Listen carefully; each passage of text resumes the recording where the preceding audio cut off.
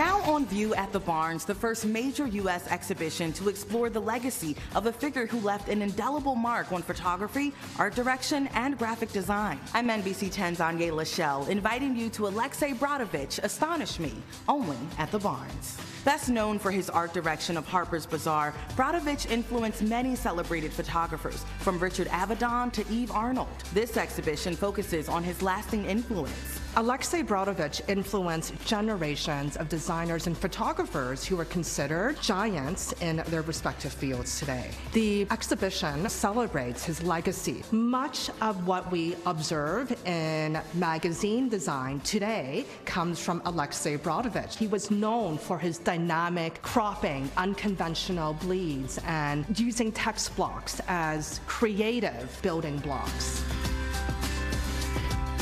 One of the highlights of the show is a chair that Brodovitch had designed for the Museum of Modern Art's low cost competition. And what I love about it is that it really underscores Brodovitch's versatility in working across various disciplines and a variety of media.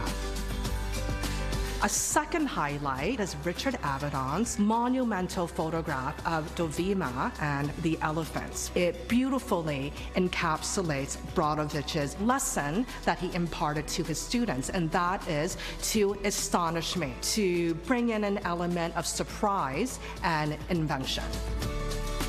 I invite everyone to take a look at our related programming to enhance your experience of the exhibition. I look forward to seeing everyone here. Experience this unique exhibition at the Barnes through May 19th.